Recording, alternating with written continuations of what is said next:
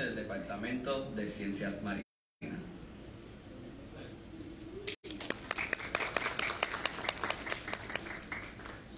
Eh, gracias, Noel. Eh, solo quiero darle la bienvenida a todas las personas que nos visitan y sobre todo a estudiantes subgraduados que tienen interés en las ciencias marinas. Es simplemente una eh, algunos, digamos, de los tópicos, ¿verdad? Tan variados que, que los estudiantes se involucran. En ciencias marinas, pues eh, tenemos especialidades en geología, biología, física y química oceanográfica. Eh, también quiero exhortarlos a, a aquellos de ustedes que tengan interés en conocer más sobre el departamento a pasar por las oficinas de ciencias marinas que están en el edificio de física y ciencias marinas y procurar a la secretaria Monserrate Casiano.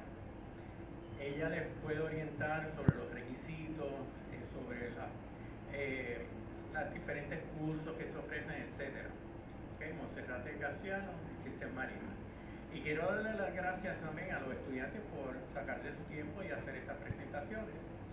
Y sin nada más, pues los dejo con Noel y con, con la agenda de hoy. Gracias. Gracias, eh, doctor Roy Armstrong, por ese mensaje. Ah, ahora voy a explicar brevemente las instrucciones de las presentaciones. Am, vamos a estar ¿verdad? presentando y vamos a mencionarles cuando les faltan 5 minutos. Ustedes, pues, ustedes vienen en la agenda, tenemos un espacio de 20 minutos. Eh, queremos que, o, ¿verdad?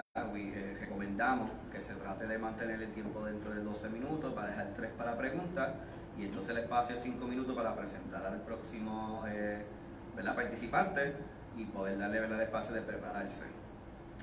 Así que sin más preámbulos, quiero darle comienzo, ¿verdad? Y, presentar a nuestra moderadora o nuestro keynote speaker, la doctora Chelsea Harmstui.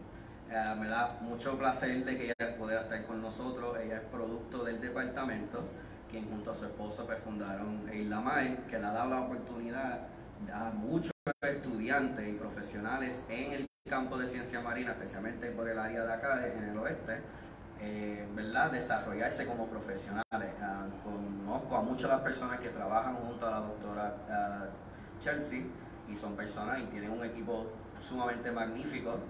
Así que nada, con eso entonces les dejo con la doctora Chelsea Harmstui.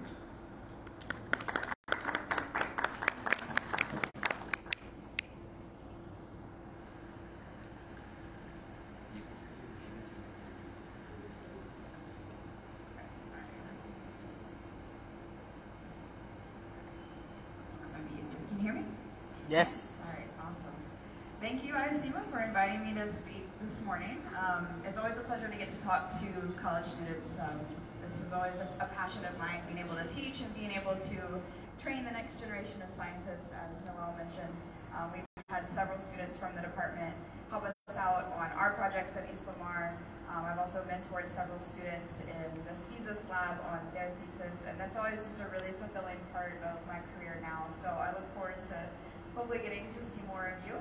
Um, and then also too, welcome to the students that are here today that are not part of the Marine Sciences Department. So it's really exciting to see that this is an interdisciplinary um, symposium and that you guys are here to learn about everything that the Marine Science Department is working on.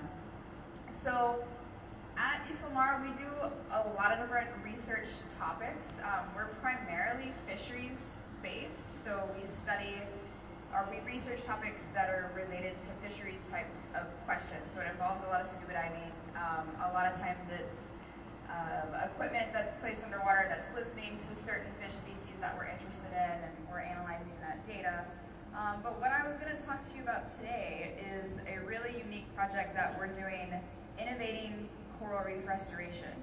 And as I start to go into this, some of you may already be rather aware of this project just because of social media and a couple summers ago with Medalla Light um, taking sponsorship of this project and really helping us promote it um, you know, throughout the island. So keep that in mind, you'll kind of pick up on that as I start going into this.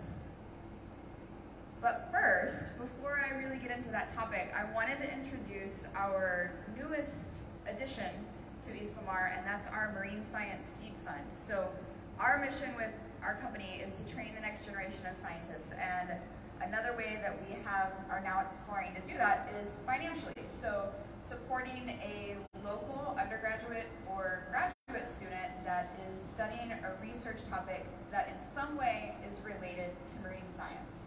So you don't have to be a student in the department, although in 2022 we were able to support two students that are currently working on their fund projects um, that are from the marine science department. But your degree can be general biology, you can be studying um, chemical engineering, zoology, animal behavior, as long as your project topic in some way ties back into marine science, then you would be eligible to apply for the Marine Science Seed Fund. So it's a mini grant, it's about $2,000, even if you don't even need that much money, like say for example you're looking to go to a workshop to learn how to do a certain technique that you'll need to actually perform your research, but it's less than that amount, you can still apply for what it is that you need to go to that workshop. So if you go to our website, I'll put up our details at the end of the presentation, but if you visit our website, you can click on the seed fund and there's more descriptions about what you know applies for the seed fund and then what doesn't apply. So we've changed the, the rotation of that application period, so we were gonna make it yearly, but we decided that for 2023, we're just gonna continue to follow the students that we're supporting in 2022. So the next application period will be in 2024. So that gives you guys time to kind of explore it, reach out to us, ask questions. Like you're always welcome to email us and say, hey, this is what I'm doing. Would this apply? And then of course we can answer yes or no to that, and that can save you some time um, in, in preparing. So, anyways, yeah, we're excited to have this this new uh, aspect that we're now offering with Isla Mar. Okay. Now, getting into the topic of today, innovation in coral reef restoration. Just to get us all on the same page, I'm going to introduce just a couple different outplanting techniques. So this is referring to the second to last step of coral reef restoration, with the final step being monitoring your actual restoration work after you've done it. So outplanting is referring to taking corals that have either been grown in a nursery, or maybe they've been clipped from natural colonies, or perhaps they're fragments that have been collected from the reef after a natural disaster, and then they are planted back to the reef, usually in areas that need some kind of, of help, some kind of restoration initiative. There's more ways to do this besides what I'm just explaining here, but I wanted to kind of just give you a general idea of the ways that restoration practitioners do this, and also really just to show you that there's more ways besides just how we're doing it. So one way is through epoxy which is using a binding agent like glue that's been mixed with a putty, and then you plant the fragment in that epoxy and secure it to the reef. Another way is physically actually tying the fragment to a nail that has been hammered into the reef. And then the last way is cementing, and that's the way that we actually do it, or the way that myself, Isla Mar, and our partners do this here in Puerto Rico. Um, this is a really common method. Actually, all of these methods are pretty common, um, and they, it really just varies based on who the practitioner is, what their organization is kind of, what they prefer, and also just the general area where the restoration is happening. But um, I'm going to be focusing on cement, which is typically a hydraulic cement that's been mixed with crushed marble, which is called marmalina. Um, that's prepared on land, and then that bucket of cement is lowered into the water, and then it's used to cement the coral to the reef, and that cement will harden underwater, and then the coral will start to grow over the cement. Okay, so as we started to develop our innovative idea in trying to explore a new way to restore corals using this cement, we kind of had to work backwards and ask ourselves, what is cement? so what is the actual composition of cement? Typically, it's composed of calcium, silica, and then other minerals like alumina and iron. The calcium is coming from limestone, chalk, the shells of marine organisms, calcareous rock. The silica is usually coming from sand. And then those other minerals are like alumina and iron. So those are the things that can be found in that powdered cement that you can go get at Home Depot. So then taking that a step further, what is sand? So the composition of sand is can really vary based on the latitude and the presence of the marine organisms that are dominant in that area. Sand, in general though, is composed of silica, calcium carbonate, and then other things like basalt, parrotfish poop, lava rocks. The silica is coming from weathered and eroded rocks from the earth itself. So if you think about like the edge of the coastline, as those rocks start to erode, the silica that is present in those rocks obviously is going to make its way into the ocean. Calcium carbonate is coming from, for example, foraminifera shells, which is a marine organism, um, broken corals, or other marine life that has like a shell-based um, external structure. So then, as we started to explore these components, so we wanted to know, okay, what's in cement to, to begin with? Okay, sand is a big part of that. What's in sand? Okay, silica is a big part of that. What else is sand used to create? Glass. So then we wanted to know, well, okay, well then, what is glass? Glass is formed from silica, which is usually coming from sand, and calcium carbonate, usually coming from limestone, and then sodium carbonate, which is coming from soda ash, which is a natural formed um, mineral that can be found in the water. All right, so we used, I'm sure you guys now have seen this theme as I moved through those three different components, that silica is a pretty big, um, a pretty big component of cement, of sand, and of glass. And so now we can come back to our initial question and our concept here of using glass bottles to crush them back into sand, and then using that sand in our cement mixture to plant corals back to the reef. So that's where like the, the innovative idea comes from. Um, the reason for this, or the rationale behind this, kind of how we came up with this idea, was exploring a way to reduce glass bottle waste here on the island, um, especially because our landfills are, I mean, we live in a, an obviously a very finite space with a lot of people. Um, I think before Maria, we had over 43 landfills. I think we're down to like 18 now, and still relatively the same amount of people on the island. Um, so we were looking for a way to reduce the waste that we're contributing to our landfills, but then also simultaneously reducing marine debris. So glass bottles, as I'm sure you guys have noticed when you go to the beaches or when you're out snorkeling, you've probably seen glass bottles underwater or on the beach. So we're kind of looking for a way that we can turn that waste product into something useful. And then at the same time, looking for a way that maybe we can even reduce the cost of doing coral reef restoration. So can we take out one of those components, that marmalina, perhaps, which is one of the more expensive parts of our cement mixture, and can we replace it with recycled glass sand, or RGS? And so this basically came into our experiment because as scientists we wanted to approach this from a very experimental uh, angle. And so we turned this question into an experimental design that we're going to be finishing up in June. And so I'm going to talk a little bit about that today. So, we tried to control for as many factors as we could. I'll go over those as we progress.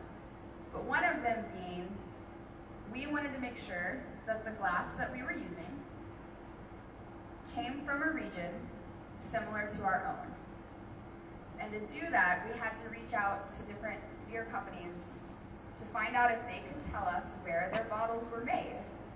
So we started with Medalla Light, and luckily we got to end right there too, because they were really, they really liked this idea, ended up actually supporting this project financially, and then helping us spread the message about the importance of coral reefs two summers ago that I'm, I'm sure probably a lot of you saw on social media.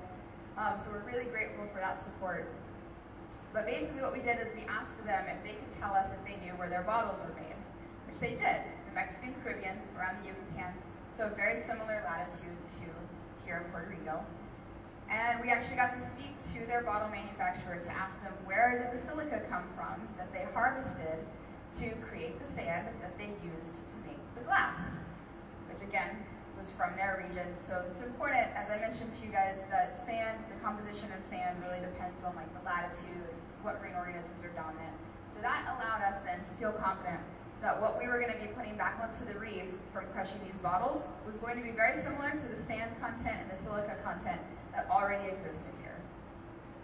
So what we wanted to do was test different ratios of RGS, of that recycled glass sand, mixed with cement and with mar and or with marmalina. And we wanted to see if did that recycled glass sand perhaps help corals grow faster because the silica content would be higher? Or did it maybe hinder coral growth, like maybe this wouldn't be a good addition? And we also, again, because this was an experiment, we used a control, which was just our traditional cement and marmalina mixture, and I'll go over those, those ratios shortly so that you can get a visual on that. And then we decided to monitor this for at least a year. So it takes a, a little while for corals to grow. Um, in this case, we were using a Acropora palmata, which is the elkhorn coral, which is, tends to be a faster growing coral, so it's used um, very frequently for coral reef restoration, especially here in Puerto Rico. So we, uh, we're going to be monitoring this whole uh, experiment for a year. We're coming up on the conclusion of that in June. And then uh, once we're finished with that, we'll be able to calculate the growth and the survivorship of the corals from the project. Okay, so, actually press again and then it should start the video. Perfect. All right, so what you see in the video is our bottle crushing machine, which is designed in New Zealand. And it's super simple. You basically just drop the bottle into the neck of the machine. Uh, when it hits about the middle of the machine, there's something there that pulverizes the glass into the tiny particles and sand, and it falls into that five gallon bucket. So the machine itself is about as tall as I am. It's um, easy for two people to kind of wheel, wheel around or move. Um, these machines also come in industrial sizes as well. But since our project was so small scale, this worked perfect for us. And so essentially what we did was use different proportions of recycled glass sand and our cement and marmalina. So if we start on the far left, that ratio it says 201.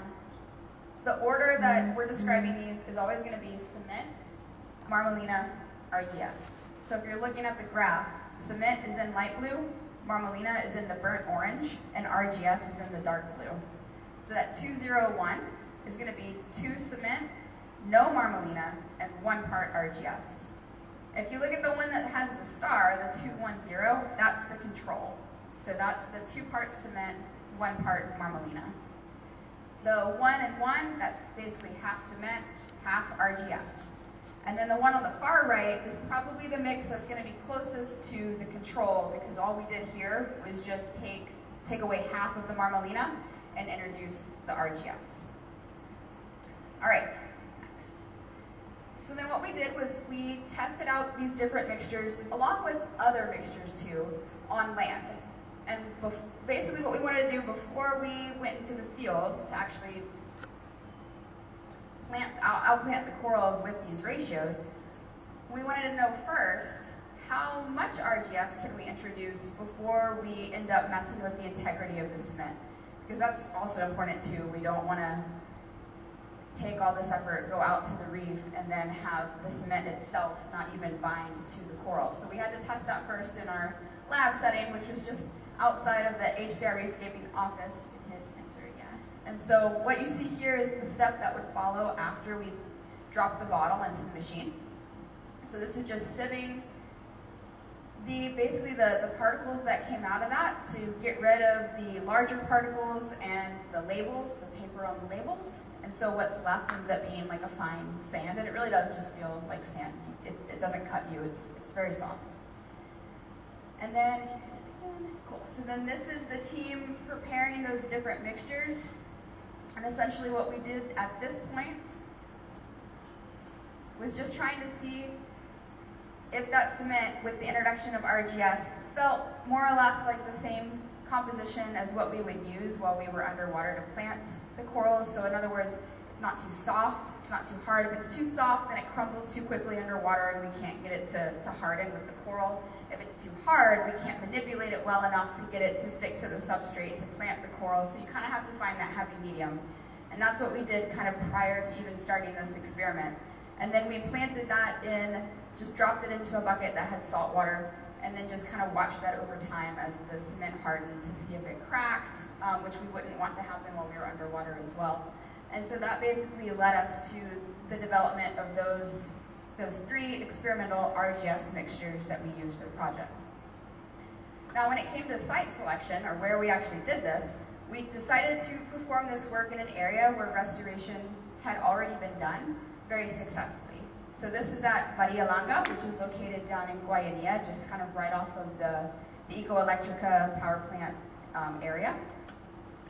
And what we did was basically replicated our design in three different areas that are more or less 200 meters apart, um, sometimes a little bit a little bit greater than that. But the idea was that we wanted to not put all of our eggs in one basket and only do this once.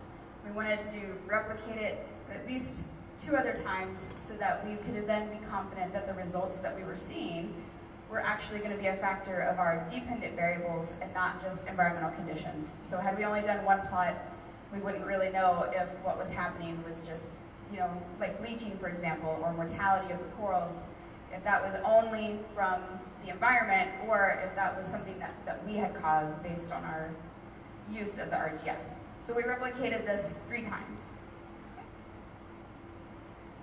And then Perfect. Okay, so this video is showing what the outplanting looks like.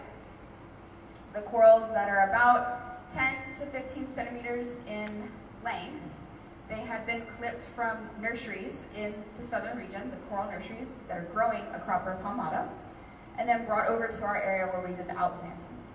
We pre-mixed all of those cement mixtures on land by weight so that we had them in the buckets just ready to go once we got to our site all of the plots, so all three plots, have all four of those treatment mixtures, including the control. So that ended up being 75 corals per plot for an overall total of 300 outplanted corals that we were monitoring for this experiment. So besides just being a a, an issue of replication and that we wanted to just replicate the experiment itself, this also means that we did restore 300 corals to this area that needed coral reef restoration in those sites to begin with. So kind of twofold. And then this is a visual of what this, this essentially looks like. The photo on, the, on your left is a photo mosaic of the site before we did any outplanting. So you'll see that there are no Acropora palmata in that area and it's rather flat. There's not a lot of three-dimensional structure. Over on the right, you'll see all these tiny little red numbers and those are indicating each of the 25 corals that we planted per experimental RGS mixture and the control. And what's circled is just kind of giving you a little bit closer of a visual of what those 25 corals clumped together really looks like.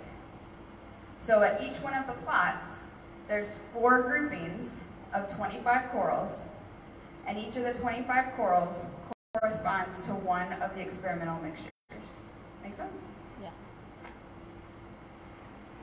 All right, so again, because this project is still ongoing, then I just have some preliminary results to talk about. So far, we've done three monitoring sessions after the corals have been planted, and we have one more to go. And so what kind of the big thing we want to discuss is survivorship. So what has what has survived after all of this? Um, and so what I'm going to show you today is in relation to what NOAA, the NOAA restoration, refers to as a successful restoration project if your core restoration project has a survivorship of 50% or, or greater, then that's deemed a successful coral reef restoration project. So that's why you'll see these metrics here um, described in terms of less than 50% mortality or greater than 51% mortality. So we'll kind of keep that in mind too as we work through the rest of the presentation. The star, again, indicates the control. So our control mixture so far is showing 81% survivorship, pretty good. We move on to the 201, so that's two cement and one RGS. We've got 73% survivorship. The one-to-one, so that's half and half, half cement, half recycled glass sand, is at 67% survivorship. And then the 211, again, the one that's kind of closest to our control, where we just introduced a little bit of that RGS, is basically at the exact same survivorship as the control. So what you can tell just so far looking at that one row is that essentially the RGS is not, at least at this point, not hindering the coral growth. And our survivorship is all greater than 50% for all of the experimental plots. And then if you look at the breakdown there, the proportional mortality, the only reason why I threw this up here, because this is going to be more important really at the end as we look for trends in how these corals either, um, sort of how the mortality changed over time. Uh, because corals, just because they have some mortality on the fragment, doesn't mean that that whole fragment is going to die. It could recover. And so I'm showing these numbers here really to kind of indicate where the future might be going and what we might expect to see in our last monitoring session but then also just to show you that it's not necessarily that just because we see that there's greater than 51% mortality in some of the areas doesn't necessarily mean that all of those corals are going to end up dying. They can recover, and so we could see these survivorship percentages increasing or decreasing after our next monitoring session. Okay, so yeah, in summary here, just from the preliminary results, we're seeing that recycled glass sand is at least not hindering coral growth. Um, and at the end of the project, we'll be able to see if perhaps one of those mixtures actually helped increase growth over time. And with over 50% survivorship, we can basically say, at least so far, that we have met that component of a successful restoration project. And then I also wanted to just illustrate the use of those bottles in terms of what we were able to like recycle or upcycle. This is taken from a, a fact sheet that we created about the project um, that we use during when we do things like this um, or exhibits to kind of talk about using recycled glass sand. So with 100, we could plant 100 corals, or when we use 100 corals, we're recycling 86 bottles. This is in regards to the 300 corals that we actually planted for the experiment, but really this number is so much higher because we did a lot of prep and trial, trial and error before we actually did the experiment. So keep that in mind too. We ended up using a lot more bottles than what I'm showing here. But in one bucket of cement, there's 40 pounds, or sorry, 40 bottles that have been crushed, which equals about 20 pounds of glass, and with that we can plant 25 corals. So then in the next one, in the next slide, for the purpose of those 300 corals that we're following in the experiment, we were able to upcycle 258 glass bottles. And with two of those glass bottles equals one pound of sand produced. So in other words, now we've got these metrics that we can kind of scale this project up. That's what's really exciting about this is that this can be used anywhere that coral reef restoration um, can be performed. All right, so in conclusion, the project has one more monitoring session that we'll be doing in June.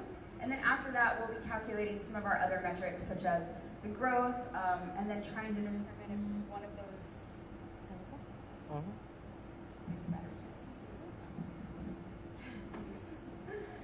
Hello? Okay. Trying to determine if, if one of those RGS mixtures actually ended up kind of um, outcompeting in terms of, of the success some of the other mixtures or even the control itself. Okay, and then I'd be remiss if I didn't talk about some of the future uses that we could use RGS for. Uh, and I'm going to bring these up here because we do get asked a lot of questions about this. Um, two of these things we're actually in the process of doing now. So how else can recycled glass sand be used in marine conservation? One way is through filling seagrass scars. So if you guys have ever been to any of the Cayos in Parguera, you've probably seen these like white lines that go through the seagrass from where boat propellers have chopped up the seagrass and left a scar. And so one way that our, our partners at HDR Reefscaping are exploring a way to use RGS is by filling these, they call them socks. It's like basically a, um, a canvas tube that has been filled with recycled glass sand that the seagrass can then use to recolonize that, um, that dip in, in, the, in the seabed. Another way, oh, sorry. Another way is through mangrove restoration, so using the RGS to basically create barriers along mangrove cays, so areas where these like Cayos have started to erode away, um, maybe because of lack of mangroves along the shoreline or just over time, you know, mangrove cays are, are ephemeral in nature anyway. But one way that we're exploring um, to try to kind of recreate those coastlines is by planting mangrove seedlings, red mangroves, in essentially those same things, those seagrass socks, using that RGS, and then kind of creating the barrier along the, the, the shoreline of that mangrove cay to see if that helps with the restoration there. That's a project that we're going to be starting pretty soon. And then lastly, the one that we get asked the most about is beach renourishment. Like, can we crush a bunch of our glass bottles, throw it back on the beach, and then create more sand on the beaches? I wish it were that easy, and I wish that I could just tell you, like, yeah, let's go do that. But there's a lot of work and a lot of research that has to go into that before you can do that. Um, so what we will be doing at Isla Mar through the help of Medalla Light is exploring if that's even possible. So um, we will be, and perhaps one of you in the room could end up working on this project, um, we will be exploring the, the physical side. This will be a student thesis. Um, the physical side of that, so comparing the actual composition of RGS sand to natural sand to see if they're even similar enough to be able to do that. And then another student thesis on the biological side of it, looking at the communities, the biological communities that colonize RGS sand versus natural sand. So those two key components, we gotta answer those questions first before we can answer this big million dollar question of can we use glass bottles um, to restore our beaches. All right, and with that, I will thank you for your time and your attention. I'm happy to take any questions about this project or anything about Isla Mar. And then you've got my contact information there, our website, um, our business email, and then my personal email. And I'm happy to take any questions after as well.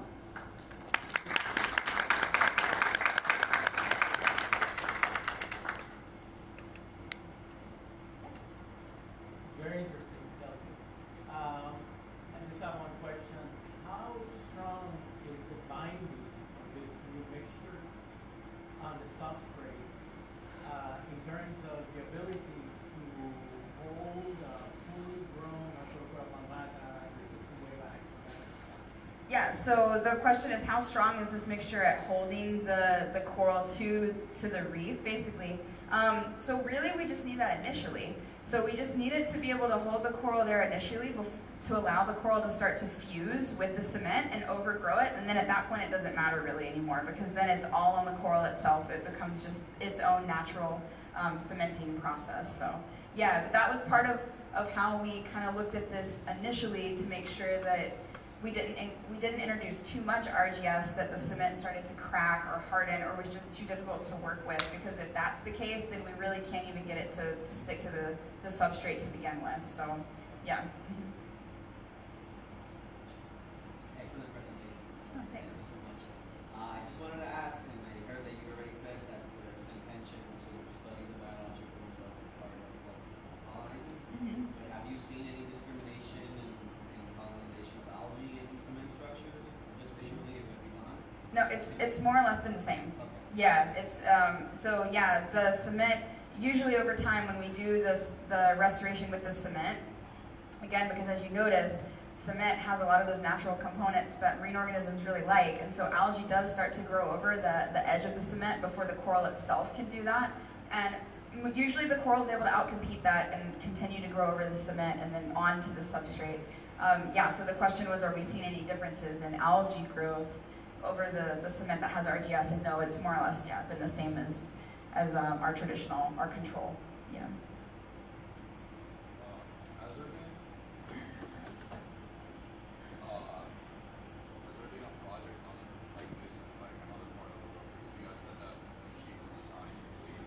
Yeah. Uh huh. So, is there like any preliminary data that has been done in like other latitudes or, yeah, like, I know the species are different than the, on the same study was also. Yeah. There's like. It hasn't been done somewhere else. Yeah, yeah. So to our knowledge, because we actually, that's a good question. So the question was, has this been done somewhere else as well? And um, stemming from the fact that the machine was created in New Zealand, so like, you know, maybe did they explore this too? Um, to my knowledge, no, because initially this project was something that we actually wrote a, a huge grant proposal to do at a much larger scale that we submitted to a NOAA um, call for proposals that we did not get. And that's how we approached Medalla Light to ask them if they'd be interested in kind of like funding a really smaller scale version of this. Um, so in the research and developing sort of that, um, that bigger scientific proposal, no, to our knowledge, no one else has done this, at least in regards to its use in restoration. Yeah.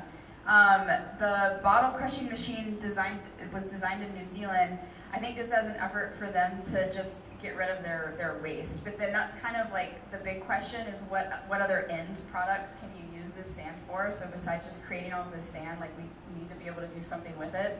Um, and that's sort of the bottleneck now and kind of taking it a step further is because even the, the other projects that I mentioned to you, like the seagrass scars, the mangrove restoration, those are all still things that happen on like a smaller scale than what like an island would be looking to do to reduce their glass waste. So that um, I pose that then as a question to all of you, um, as to maybe help come up, especially if there's any engineering students in here, to come up with ideas for in-product uses for RGS, because perhaps that could really be a way that we could scale this up um, and, and really get rid of like the glass waste issue on the island. Uh, you mentioned that you may be working with mangrove restoration.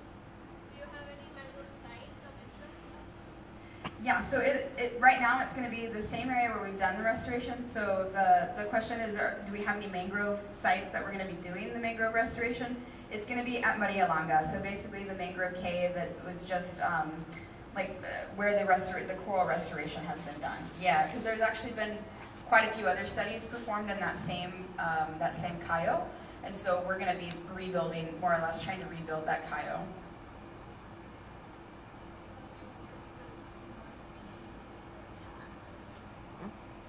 So have we worked with more species besides uh, Acropora palmata or the elkhorn coral? And for this project, no.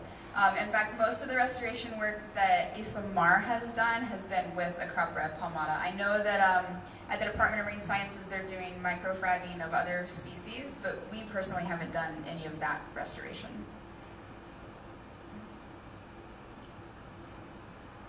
And also too, for this project, we needed a coral that was pretty hardy and that was going to grow quickly. So a palmata was kind of the the go-to for that.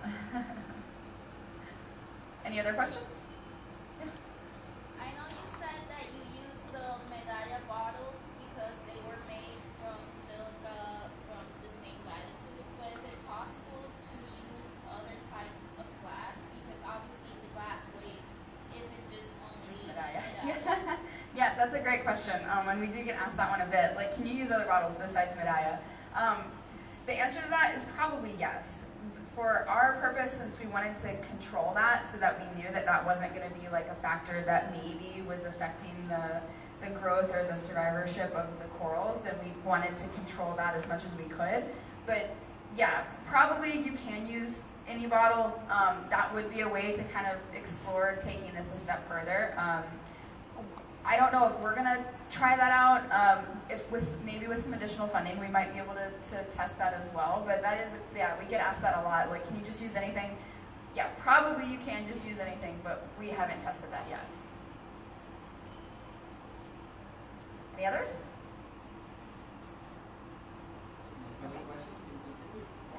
Thank you so. Thank you.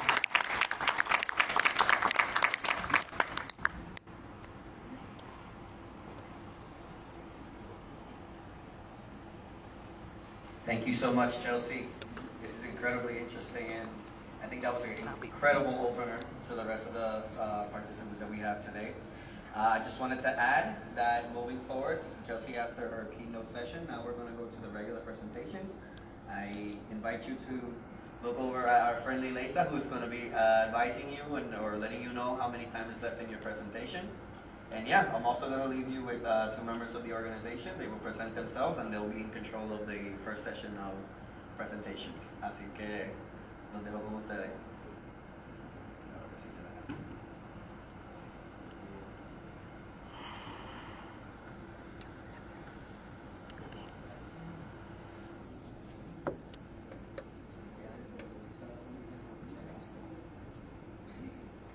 Buenos días.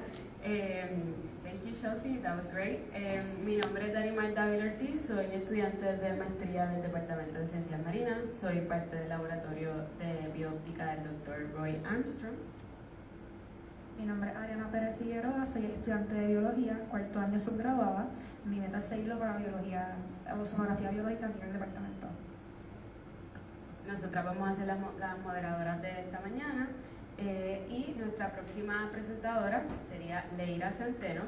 Leira es estudiante de maestría per- pertinente del laboratorio de Biogeochemistry Ecology Research Group, trabajando con el monitoreo de calidad de agua en la ecoeléctrica de la Bahía de Guayanilla.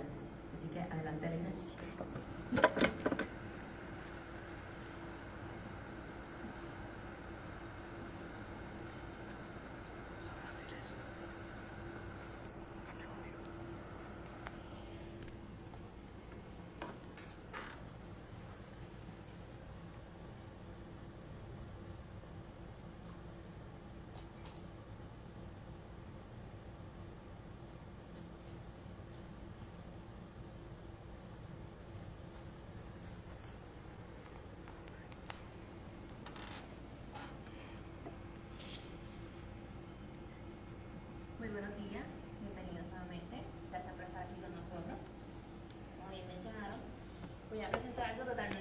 Taruh.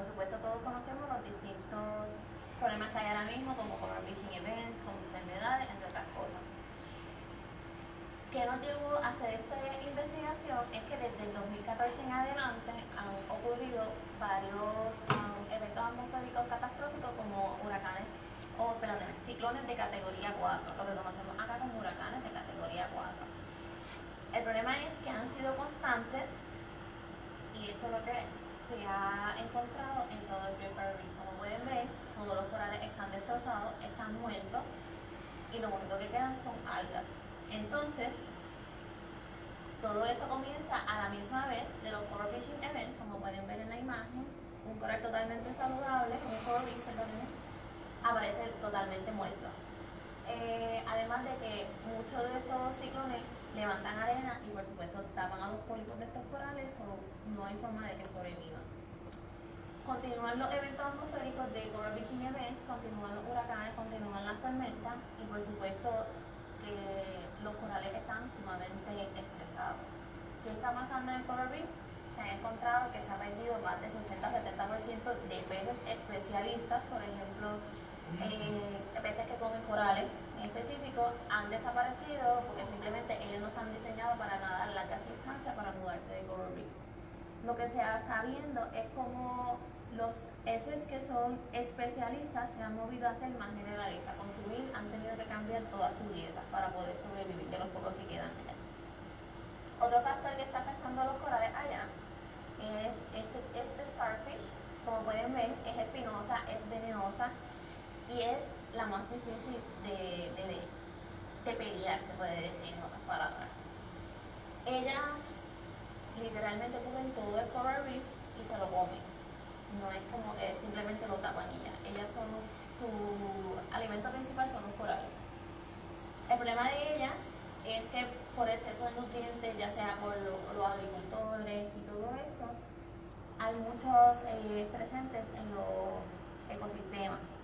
También otro problema que tenemos o que surgió es que su único depredador, un crustáceo que próximamente voy a presentar, antes era parte de la dieta de los australianos y esto causó que están casi extintos. Una sola fémina de este, este starfish puede causar hasta 10 millones de huevos y todos pueden salir. Un dato curioso de esta estrella es que ella puede estar 6 meses sin alimentarse sin nada, simplemente en agua, que es sumamente resistente. Este es el depredador. Lo que se está intentando, los poquitos que quedan, están intentando eh, biomolecularmente o molecularmente de distintas formas porque están desesperados allá en Australia, es hacer parecido a la mucosidad de este snail debido a que tan pronto tú le pones una gotita, una simple gotita de la mucosidad en los tanques, de, la mucosidad del snail en los tanques donde están las estrellas, ellos se ponen nerviosos e intentan como que am, salir o buscar la forma de, de huir. Otro dato curioso, han intentado envenenar- envenenarlas y ellas tienen la habilidad de que si no la cuidas en el mismo centro, con el veneno, ella puede sacarse sus extremidades y simplemente continuar su vida normal. Ahora sí voy a presentar sobre mi investigación. Lo más importante era identificar el size y la frecuencia de estos corales que es en, en estos últimos dos años. La localización, yo me encontraba en Lisa Ridge Station, el puntito de abajo, y mi coral reef estaba allá arribita, al norte. Las especies que estudié fue Posolibora meandrina, Acropora nasuta y Acropora yantil. Por supuesto, estas no se encuentran en Puerto Rico. La metodología, utilizamos, eh, tiramos transita de 50 metros alrededor del coral reef y se medía cada 0.5 metros donde estaba eh, esa, ese coral. Siempre se medían el ancho también. Eh, estos son mis compañeros que me estaban ayudando. Así, era la forma en que estábamos recolectando la data. Prácticamente reco- recolectamos sobre 400 puntos en, en cada una de las distintas transectas, que es bastante. Los resultados. Fosfolipora mandrina, como pueden ver la diferencia entre el 2020 al 2022, se observa que la frecuencia aumentó, la cantidad de, especies, de, individuos en, la presencia de, de individuos aumentó. Pero si se fijan, hubo un desplazamiento hacia la izquierda, significando que hay más cantidad de especies mucho más pequeñas de lo que se encontraba antes. Para Yantilus pasó que ya no se encuentra tan frecuentemente, pero sí se encuentran en pocas cantidades en distintos tamaños. Puede ser que algunos sobrevivieron porque tenemos hasta tamaño de 800, pero al igual están fragmentados. Eh, y por último, Anasuta, como pueden ver, hay una alta cantidad de individuos entre, entre los 50 a 400 y cuando en el 2022, cuando fuimos, hay mayor cantidad de los midterms, o sea, entre 200 y 400, la cantidad de especies de individuos. En conclusión, sí estamos viendo que se están recuperando, pero no como obviamente quisiéramos o esperáramos. Están teniendo mucho estrés, están teniendo por muchas situaciones. Otra cosa también son los contaminantes. Eh, la evidencia demostró de que eh, los eventos atmosféricos y los coral bleaching están afectando grandemente a estos corales y lo más importante que los organismos a pesar de todo están en un tamaño pequeño, no es que están desapareciendo.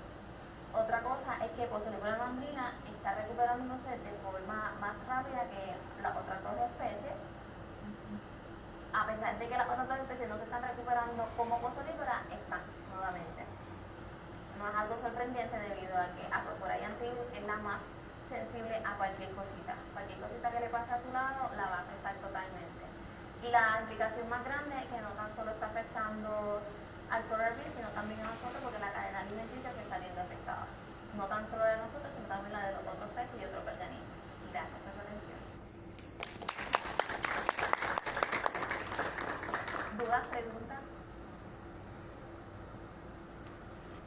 Um, en cuanto a la- los rates ¿verdad? De crecimiento, tú estás diciendo que se, a través de los años se disminuyeron la, la especie, por lo menos de acropora, a través de los años, pero que como quiera iban recuperando, solo que un poquito más lento que las otras especies. Sí. ¿Tú crees que eso se debe como que a la biología de, la, de esos corales ser jamosa o es que son más susceptibles a las diferentes... Puede ser que eh, sea más resistente, esa especie específica, pero se necesita mucho más estudio. claro, Eh, en Morgan Crash me dice que ha sido todo los análisis y los resultados que ellos han llevado no es algo consistente lo que se ha visto por los años, sigue cambiando y realmente ellos no se explican si hoy está vivo y mañana muera todo. ok, Es algo bien variado ya. claro. En una de las imágenes que presentaste al principio de cómo se ha ido comportando la mortalidad en la Gran Barrera, casi toda la mortalidad se enfoca en la parte norte y en la parte sur, pues la mortalidad era menor. ¿Hay alguna razón para eso? No hay una razón específica, pero literalmente es como si fuera una capa que va bajando. Ahora mismo sigue continuando hacia el sur. No se veía tan rápido, puede ser también por la latitud, ya que ustedes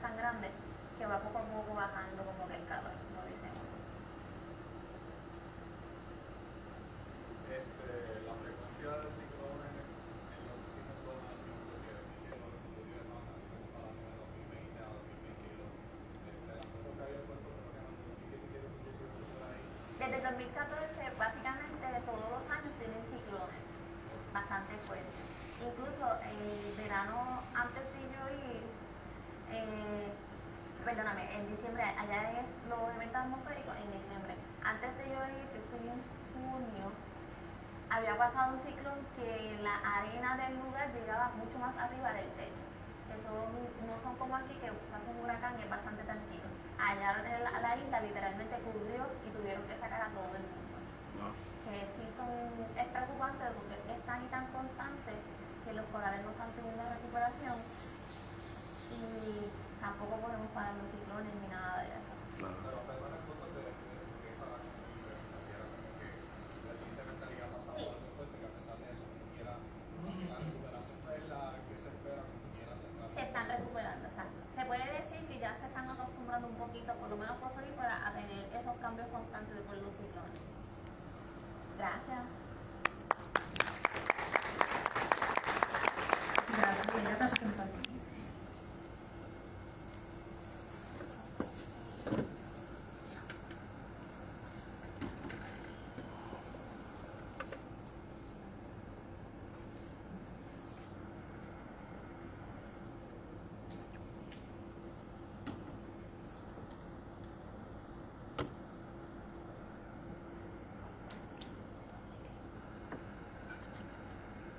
Bueno, ahora vamos con Samuel Caldena Sánchez. Pueden pasar para adelante. Samuel Caldena Sánchez, profesor en la Intel de Ponce. Está hablando de los ROVs. Pueden ir para. Gracias, buenos días. Este, aquí se voy a necesitar que me ayuden con el tiempo porque me apasiono hablando y, y luego me voy. Muy buenos días para todos, gracias por la oportunidad y el espacio. Soy Samuel Cardeña, yo soy físico, ¿no? estudié en México. Ya llevo nueve años aquí en Puerto Rico, eh, estudié la maestría también en ciencias físicas y siempre he estado en el mundo de la mecánica cuántica. Pero vivir en Puerto Rico y no enam- enamorarte del mar es imposible, ¿no? Aquí es precioso, las playas y la cultura del mar es muy buena. Eh, y lo que les voy a compartir es, es un poco lo que en la educación yo he propuesto. Yo quiero aquí sembrar una idea en ustedes y también el compromiso que nos toca como sociedad para cambiar el rumbo de la educación en Puerto Rico. Miren, yo les digo algo rápido. Eh, ahí en México, por ejemplo, la educación pues es muy distinta a la de Puerto Rico. Somos, eh, somos hispanos pero diferentes. Sin embargo, yo aquí en Puerto Rico me he topado con las transiciones que tiene el Departamento de Educación y cómo la política tiene un papel protagónico en esto. Sin embargo, socialmente yo creo que para todos es más fácil criticar y señalar, pero lo difícil es proponer y sugerir, ok, el problema es este, ¿qué vamos a hacer? Cuando yo vengo aquí y me topo que también el tema de la historia eh, de Puerto Rico es un tema que no es muy popular tampoco, ¿no? En México, allá la historia se nos vende por todas partes, hasta en las telenovelas hay historia, ¿no? Y aquí veo que la historia también inclusive hasta cambia dependiendo del partido político que esté en turno. Hay áreas que lo enfocan y demás. Digo, no, no, ten- tenemos que saber, ¿no? De dónde viene y la cultura taína y los nombres y porque es importante. Anyway, la cuestión es que yo empiezo a trabajar en high school aquí y utilizo la robótica submarina para enseñar física. Ese fue el objetivo. ¿Cómo enseñar física a chicos que no les interesa, ¿no? Y con la pregunta, ¿para qué lo voy a usar en la vida?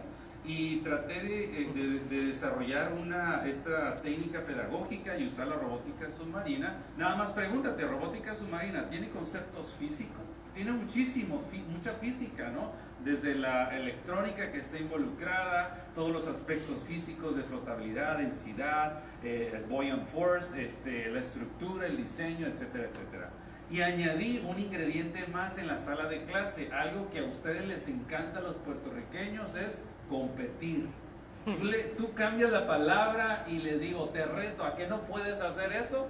Y la psicología cambia, ¿no? Te reto porque ustedes son muy competitivos, ¿eh? Y no les gusta perder. Bueno, ¿a quién le gusta perder? Y aproveché, traté de canalizar eso para hacerlo. Eh, voy aquí a cambiarlo rápido, si no, no hay problema. Aquí yo lo cambio. Muy bien. Nada, esto, a mí me queda claro que esta generación, ¿no? Ustedes y los que vienen detrás, son una generación No me voy a enfocar en lo negativo, cada generación tiene lo suyo, pero es una generación extremadamente inteligente. Yo considero que es extremadamente inteligente y demandante. Nosotros quizá no hemos propiciado el espacio para que esto se dé. Bueno, eh, y empezamos primero con un juguetito, no es como los que tiene el profe Roy, pero empezamos con ¿verdad? algo, un robot económico. Miren esto, es una estructura de PVC, eso yo lo hice con chicos de noveno. Les voy a decir algo, ¿eh? en el 2017, antes de ir, antes del huracán María, fuimos a una competencia en, en Estados Unidos. Y como cosa así curiosa, vamos a ponernos de acuerdo, fuimos a Atlanta, Georgia, primero competimos aquí en Puerto Rico y ganamos, cosa que no pensé que iba a pasar. Y fuimos a Atlanta y allá la experiencia fue muy buena, había como mil escuelas. Y entre vamos a divertirnos y vamos a hacer lo que sabemos, le ganamos a todas las escuelas allá. Que también fue muy interesante y eso emocionó mucho. Entonces ya después involucramos a los papás en este tipo de proyectos y queríamos llevarlo a otro nivel. Es decir, y hay que llevar los robots que no solamente sean en piscina, vamos a llevarlo a un muelle, a la guancha, porque yo trabajo ahí en Ponce, etcétera, etcétera, y la comunidad se involucró. Eso me llevó a darle un poquito más de fuerza al robot y esa fue la segunda etapa. Esa etapa, la idea era, tiene unas pequeñas cámaras, mira qué creativo fuimos. Las cámaras para monitorear, utilizamos cámaras de reversa de carro están en esos cilindros, tienen epoxi para aislarlas, todo es súper económico lo que ves ahí. Eh, es una cámara que mi GoPro era, una cámara versión china, pero que hace lo mismo. Eh, y nada, de los motores, y como soy bien inteligente y trabajo para la Intel, le pusimos Tiger al, robot, ¿no? Nada, y con eso lo que hicimos fue, en el pasillo les comentaba el tema de la historia y por qué lo, lo, toqué. En una, en una charla de pasillo me topé con la profesora de historia, empieza a hablar que esto y el otro, la, maestra muy independentista, ¿no? etcétera, etcétera. Y sale el tema de, de la antigua Central Aguirre en Bahía de Jobos. Y empieza a decirme de la azucarera y todo el dinero que antes se movía y por qué ahora no se hace, etcétera. Y ahí dice, hay el rumor que por ahí hay unas vías de tren debajo en la bahía porque no, por, antes eh, por ahí circulaba el tren, etcétera, etcétera. Y, ah, pues ¿qué le parece maestra? Si fusionamos nuestros grupos, llevamos el robot para explorar a ver si hay vías de tren ahí, le tiramos foto y video y luego que los chicos busquen la información en los libros de historia y así generar pensamiento crítico y preguntarnos por qué ya no se hace eso y qué fue lo que pasó. Así que llevamos este robot para allá, pero antes, bueno, esa era la preparación, ¿no? que por cierto las chicas son las que han dominado la ciencia ¿eh? y la tecnología. De hecho lo podemos ver también aquí en la sala. Yo la, la, clase que yo tomo con profe Roy, ¿no? ahí también las mujeres son las que dominan y en, en, maestría y en doctorado. Ah, yo estoy estudiando el doctorado ahora mismo, estoy en mi segundo semestre, que después de mucho tiempo empecé. Bueno, fuimos a la Central Aguirre, fue la primera etapa del proyecto. Esto era antes, creo que hasta su propio casino tenía ese lugar, ¿no? Se movía mucho dinero en ese entonces. Así es como se ve ahora y después del huracán María, pues muchas cosas pues se han, se han destruido. Ahora mismo ahí hay una reserva, ¿no? Que ya la han de conocer, de una reserva eh, nacional. Entonces fuimos para allá, eh, llevamos a los estudiantes, ah, y yo bien inteligente inventé, invité a la prensa para que vea todo el revolú, ¿verdad? Que nos gusta, hay que dar a conocer esto, o sea, eh, creo que por ahí hay una frase como que yo lo produzco, yo lo hago, yo lo recomiendo, yo lo vendo, yo lo todo eso, ¿no? Pues así lo hice.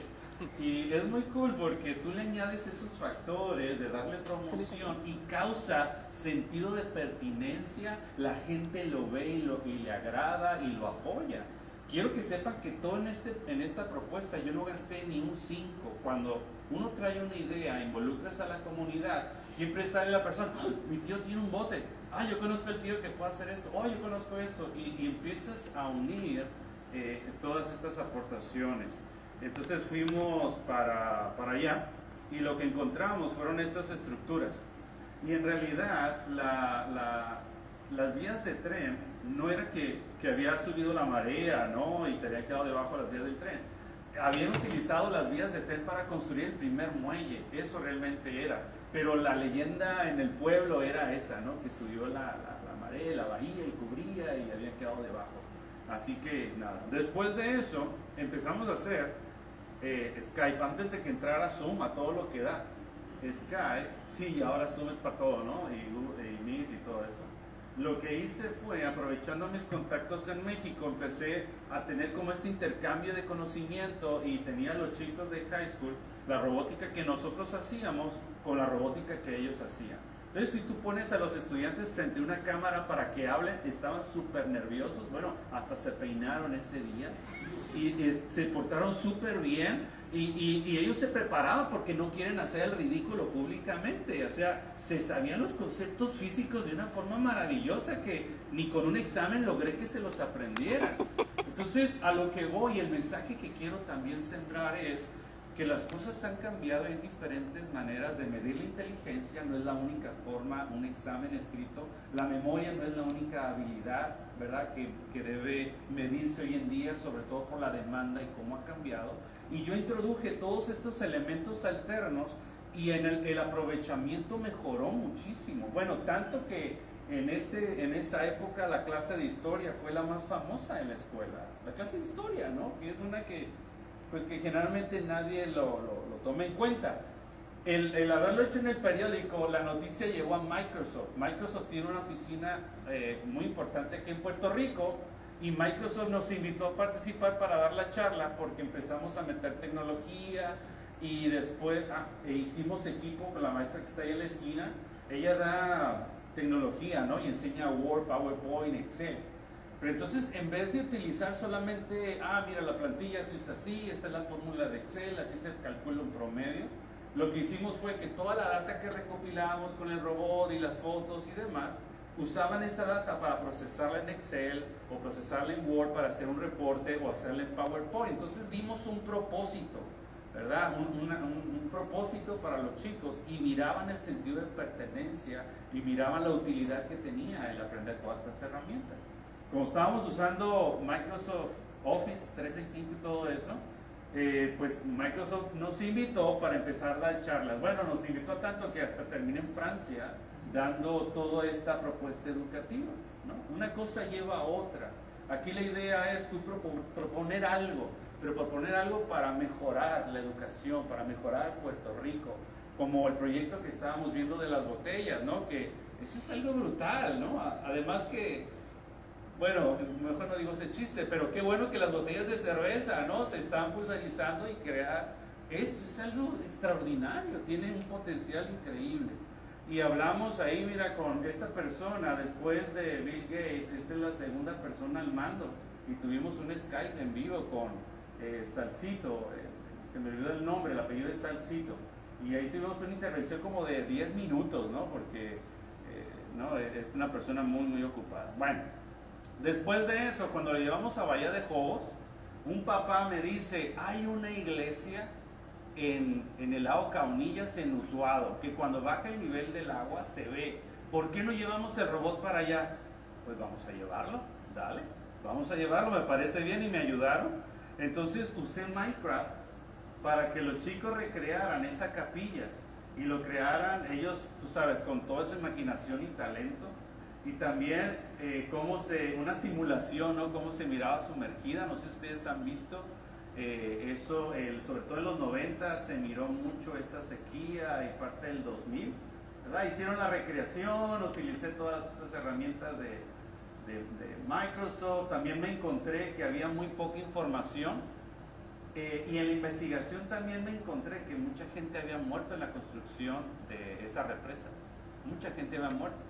Y, no, y también me encontré, encontramos una persona que había sido bautizada en esa capilla, Sagrado Corazón. Y lo pudimos entrevistar, un viejito de 90 años, que había sido, y, y es bien cool porque él, él de primera mano nos contó su experiencia, ahí toda la gente en el pueblo, la segunda generación, todo el mundo trabajó en la construcción del- de la represa, eh, y él fue el que nos dijo que mucha gente había muerto y que, tú sabes, nada. Fuimos para allá a buscar la bendita capilla. Tardamos como tres días en encontrarla. Yo no- los flashlights, imagínense, los flashlights yo los compré en Home Depot. Y con la presión del agua, que eran de push button, la misma presión, pum, los apagaba. Era lo que tenía y además eso estaba, el fango estaba súper oscuro. La represa se supone que llega a cerca de 150 o 200 pies de profundidad y, eh, y el cable que teníamos ahí era como de 70 pies. O sea, había tanto sedimento acumulado porque no han hecho mantenimiento ahí. Esa fue otra crítica también que dimos, que no se hizo nada, pero al menos los estudiantes participaron. Sí, dijeron, oye, espérate, que con mis impuestos quiero que se haga esto, se tiene que mantener, es importante, ¿no? Y los muchachos eh, eh, hicieron eso. Después de tres días encontramos la bendita capilla, voy a darle play aquí. Haber encontrado la capilla fue como haber llegado a la luna, ¿eh? les confieso. Todo el mundo estaba súper contento. Voy a darle, a ver si me deja darle play aquí. Ahí va. Ya la capilla es, ah, se ve, es la parte de arriba, a ver si se logra ver. Ahí está. Esa es la parte de arriba del techo de la capilla, está completamente cubierta. Además la cúpula donde estaba la cruz en el huracán María, esa salió, se perdió. Pero esa es la parte de arriba, o sea, encontramos el borde, ya hoy mismo ya está completamente por debajo, ¿no? Y también encontramos que ahí no solamente estaba la capilla, sino también una escuela y un hospital a, a los lados. Era la comunidad completa. Que después surgen las preguntas, ¿no? De conspiración. ¿Y cuál era la urgencia de construir esa represa? ¿Y por qué las dejaron ahí? Tú sabes, un montón de cosas, ¿no? Que salen al respecto. Así que nada, los chicos, todos estábamos súper contentos. Y ya decidimos subir un poquito más de categoría. Oh, sí, ¿Un minuto? Ok, un minuto, gracias. Subimos un poquito más de categoría y ahora vamos a estar trabajando con este de Blue Robotics, ¿no? Estaremos trabajando con esto. Como hice mucho refuego en el high school, pues la Inter lo escuchó y me contrató. Y ahora estoy en la Inter trabajando como catedrático. Y por eso fue que empecé a estudiar el doctorado para yo estar más preparado y empezar a hacer cosas ahí en Ponce. Con esto vamos a empezar ahora en abril que el próximo año me voy a traer a todos mis estudiantes a participar aquí, pero queremos estudiar, el, eh, tú sabes, cosas de contaminación y demás con el puerto de Ponce, eh, se quieren hacer muchas cosas ahí, pero hay que hacerlas con, con cuidado, no hay que hacerlas, tú sabes, al garete, hay que cuidar la ecología, los corales, etcétera, etcétera. Pero queremos también involucrar para allá. Vivimos en un lugar privilegiado porque tenemos a el Atlántico, ¿no? Y tenemos el Mar Caribe, eso es algo único. Eh, y nada, y ya los Glides también, que me daba, me daba risa porque esto yo lo uso en la universidad para enseñar destrezas básicas, ¿no? De construcción, eh, de robótica. Eh, y en una charla con el profe Roy le dije, no, los siglas que estábamos haciendo. Y él me dice, ah, pues el mejor del mundo lo están diseñando aquí abajo, ¿no? El, el sigla que tiene ahí abajo. Y digo, eso es extraordinario, ¿no? Déjeme ver, nada, no lo puedo ver, pero ahí es un pequeño sigla con el cual a los estudiantes les estoy ens- enseñando cómo diseñarlos para después llevarlo a escala más grande. Yo creo que Puerto Rico tiene la creatividad, tiene la gracia, tiene el ingenio, nos las inventamos con la que sea, no necesitamos muchísimo dinero. Yo creo que basta con tener la pasión y las ganas de querer aportar y cambiar para el bien de Puerto Rico. ¿Vale? Nada, aquí mi mensaje. Gracias.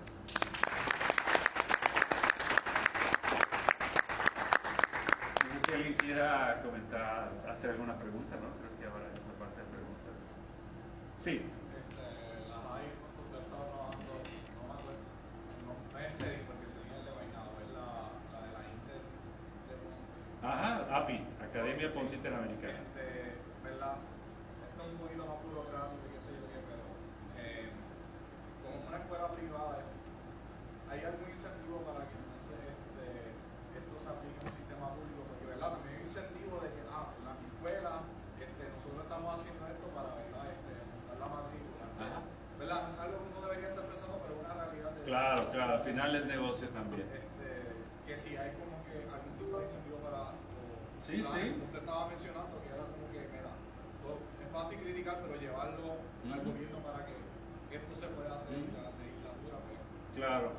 Te- mira, te comento, y eso es una muy buena pregunta. El proyecto nació en la escuela pública. Yo de ahí lo copié. El proyecto originalmente lo tiene el Departamento de Educación. La cuestión es que han faltado manos que digan yo quiero hacerlo. Pero, por ejemplo, la escuela de Villalba, Croe, ¿no? Eh, lo está haciendo muy fuerte.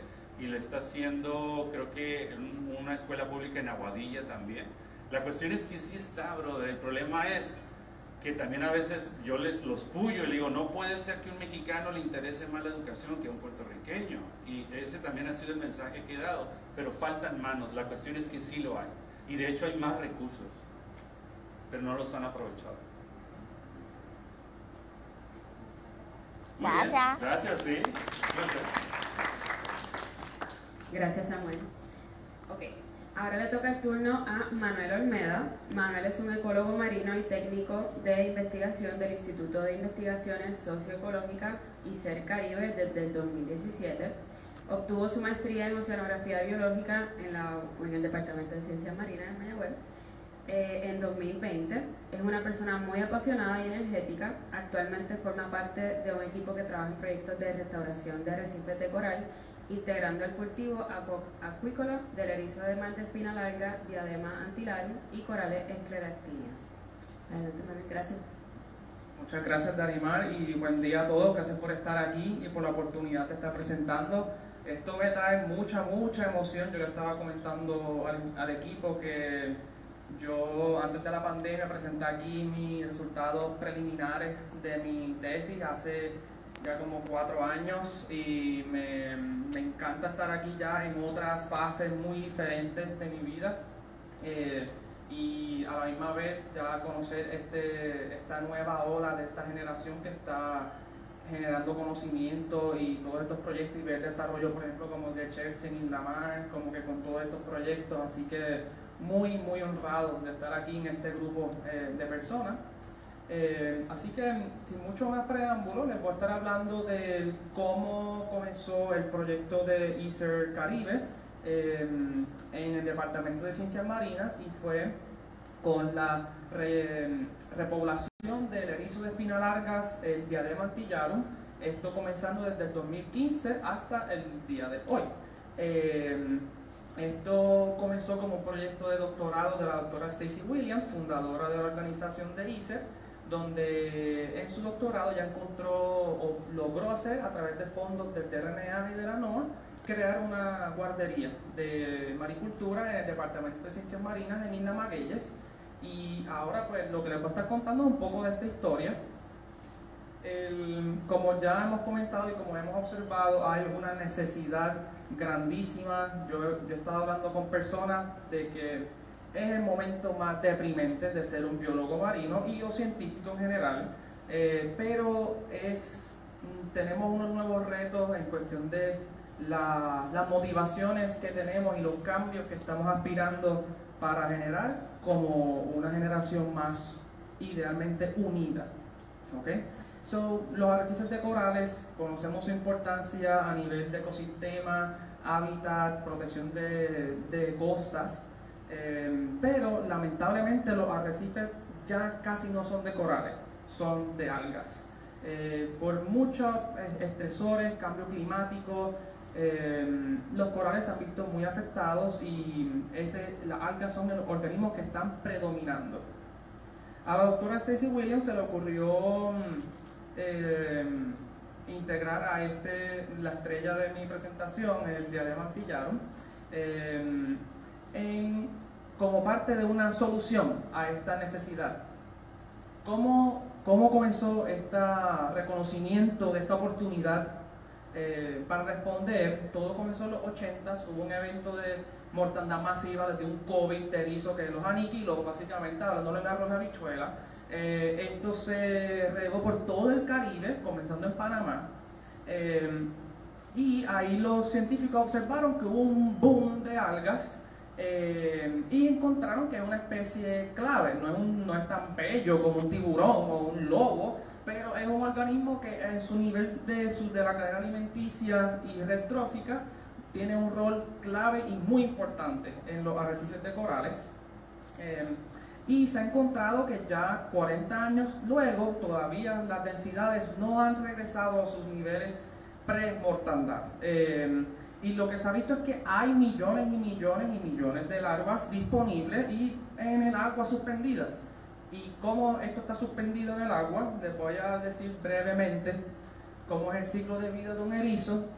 ellos desoban sus huevos y la esperma a la columna de agua, se fertilizan en la columna de agua y así em, son una, un micro drone, no sé cómo se llama, el Sea Glider, el Tiger, no sé cómo lo, lo están llamando, pero imagínate eso, pero microscópico y que ya nace estilo NASA en Marte, una cosa espeluznantemente bella y, y- mm, avanzada. Em, aquí como ven en la lámina de la izquierda, eh, arriba izquierda, así como empieza. Ellos son un animal totalmente diferente y están en ese, dependiendo de la especie de erizo, pueden estar desde 25 días hasta 50 días en esa fase que están al garete, no tienen movimiento propio a donde los lleve la corriente, ¿ok? Em, entonces ellos están así, eh, llegan a un lugar, hacen un asentamiento, hacen como un tipo de metamorfosis, como lo que han visto de oruga mariposa, pues ellos tienen un proceso único también, pero análogo eh, a eso, donde cambian de ser esa nave de la NASA a lo que conocemos que es un erizo. Cambian de simetría, o sea, son totalmente diferentes. Y básicamente en la laminilla vemos cómo dependiendo la, di- la diferencia en tamaño, pues tiene diferentes formas de llamarlos. Entonces, eh, integrando este conocimiento a restauración de sus poblaciones, la doctora Ceci Williams fundó este proyecto para a- aprovechándonos de esa naturaleza. eh, ella ha desarrollado un mecanismo para pescar o capturar larvas de este erizo como juveniles eh, y crecerlos a un erizo joven o joven adulto como un, un- como un erizo, como si fuera un, un muchacho, una muchacha de 18 años, 20 años, lo están soltando la vida a la universidad, vete a vivir. Entonces, básicamente el proyecto tiene la ventaja y el propósito de sacar lo que, lo que nosotros logramos sacar de ahí eh, saludablemente, eh, sacarlo en su, en su momento más vulnerable, donde son tan pequeños que le cabe en la boca a lo que sea que les pase por el lado, y eh, crecerlo a este tamaño donde ya sus probabilidades de sobrevivencia van a ser mucho más altas. Eh, ya a este punto, cuando vuel- cuando los regresamos al, al mar, ya pues principalmente pueden ser depredados por una o dos especies específicas de peces. Eh, así que, pero mucho menos que a, lo que, a, a como empiezan. Entonces, nosotros a la misma vez estamos introduciendo, introduciendo una nueva población, no estamos redistribuyendo eh, las poblaciones existentes.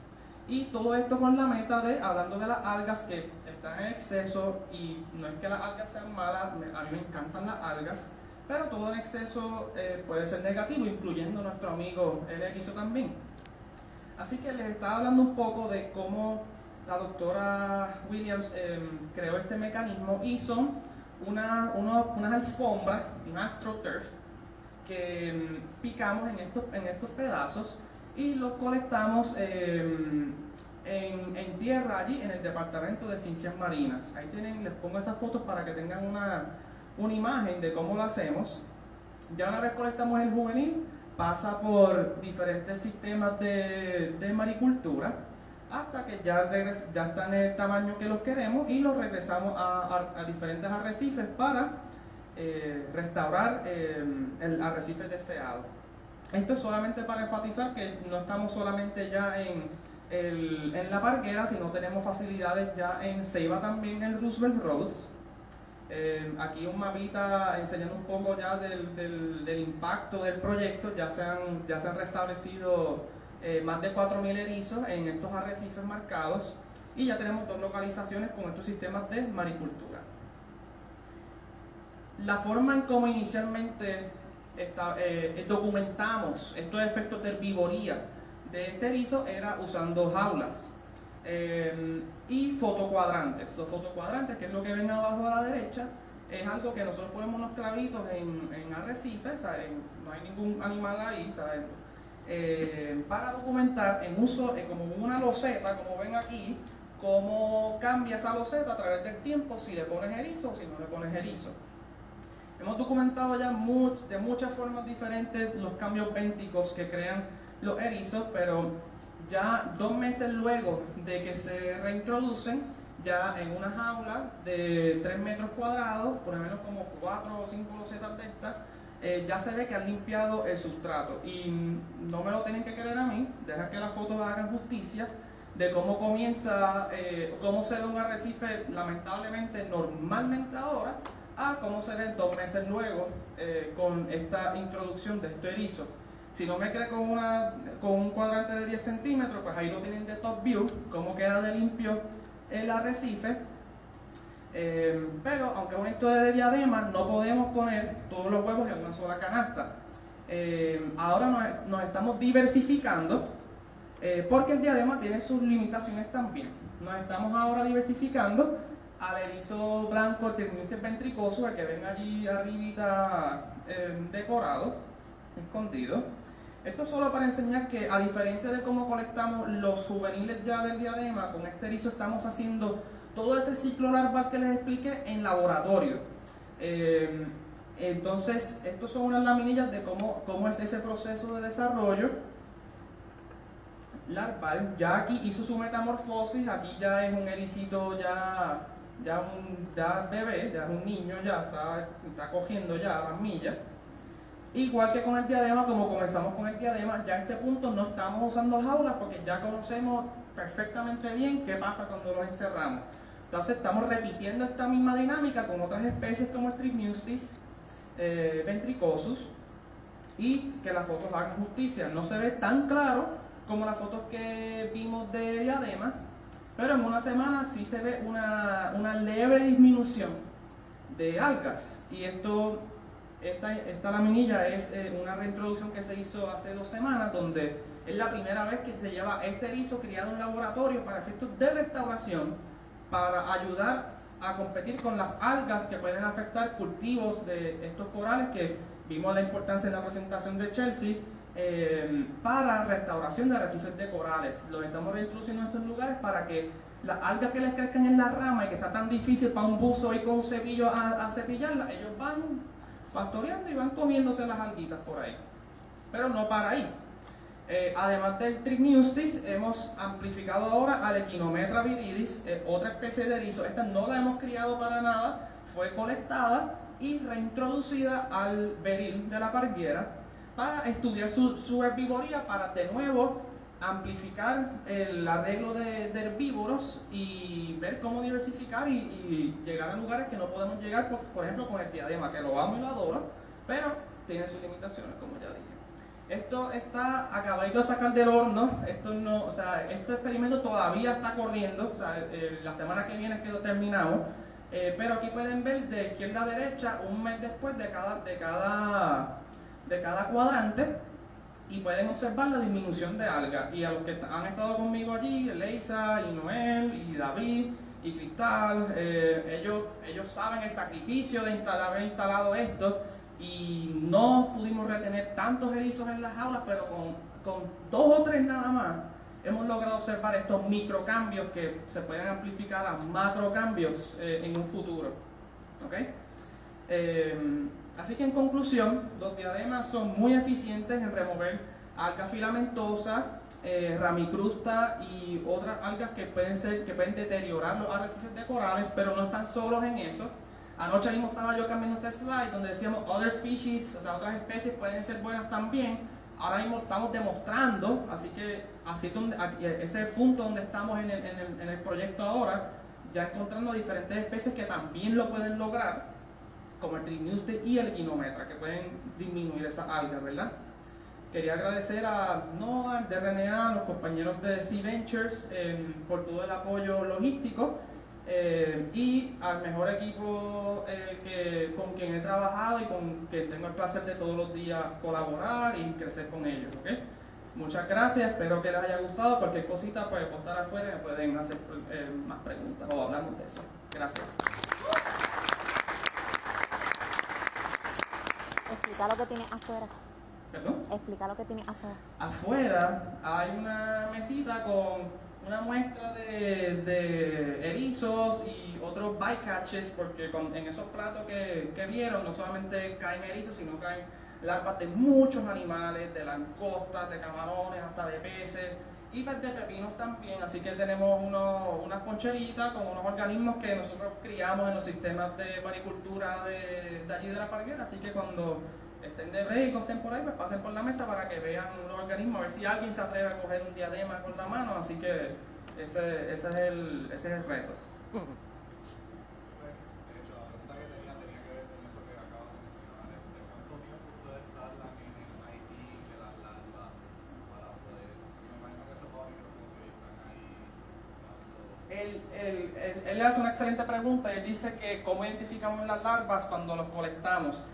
Algo que quizás no enfatice bien, es una excelente pregunta, es que por lo menos cuando nosotros los colectamos no son microscópicos.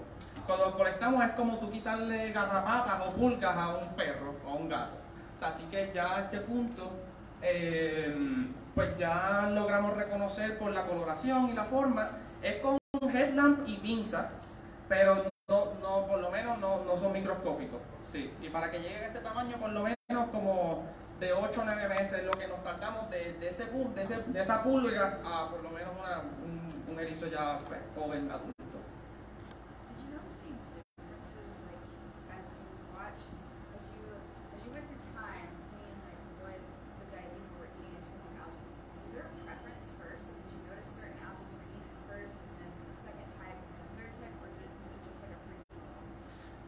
Chelsea hace una, eh, otra excelente pregunta de a ver si los eh, diademas tienen preferencia de algas a la- cuando se re- reintegran, o sea, cuando lo cuando lo sembramos en, los arrecifes.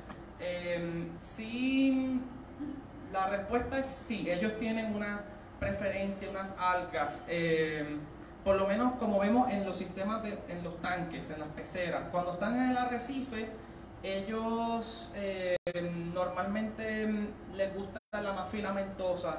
Eh, la dictiota no es su favorita, pero la cantófora les encanta en los tanques y si están con ellos en el, en el arrecife se la, se la devoran, a ellos les encanta esa. Pero generalmente ellos van como por altura, a ellos les gusta lo más filamentoso, lo más accesible y luego entonces ya van, si ya no queda nada más, pues lo que esté más, más bajito como el turf, que, es esa alga que es bien finita, o hasta la ramicrusta, que es un alga pues ya que es bien crustante, que ya hace parte, ya se moldea. Eh, pero pero es, ese es como que más que nada, no tanto por la especie de alga, sino por, por forma o textura de alga, es lo que yo he observado. Sí. Eh, Nunca había visto el, erizo ahí en, la, en las ramas del cervicorni. ¿No los afecta? Pues mira, eso yo tampoco lo había visto. Eso fue algo que, que nos cogió sorpresa porque nosotros le dimos los erizos al equipo de Sea Ventures y nos enviaron las fotos y fue como que, wow, qué, qué brutal. Nunca había visto un Trimutis en unas ramas de cervicornis. Eh, así que mm, eso, eso está por verse. O sea, lo, lo que más pudiera afectar es que vayan y que hagan racing directamente en el tejido vivo. Eh, pero por lo menos de lo que se ve, ellos se están manteniendo en el lado de las algas, en la parte muerta de, la- de las ramas. Eh, así que creo que es cuestión de... No, me, atrevo- no me atrevería a decir, eh, pero de por lo menos teniendo estos erizos con corales en un mismo tanque, ellos normalmente no, no, no les da con hacer un grazing natural en el coral. Ellos lo que les gusta es la- lo- las esquinitas que les crece el alga y ya. No, no, a veces ya es como que si son muy grandes, pues las espinas puede que choquen, pero son más con equinometra, que tienen unas espinas más largas. Con el Trimuti ellos lo más que pueden hacer es que se ponen cinco corales encima y se los llevan, porque a ellos les gusta camuflajearse y echarse cosas encima, así que eso es lo que más... Pero si yo tuviera que decir, creo que creo que no va a haber un efecto negativo en la, en la rama, pero está por verse. Sí.